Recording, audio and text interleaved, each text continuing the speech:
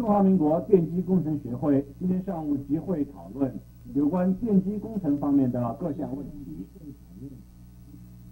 今天上午的讨论会是由电机工程学会理事长钱更主持。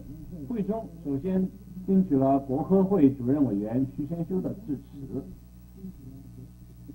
台湾电力公司总经理陈南高跟交通部国际电信局长王金良也都参加了这项讨论会。今天的专题讨论的内容是有关人造卫星转播工程技术上的有关问题。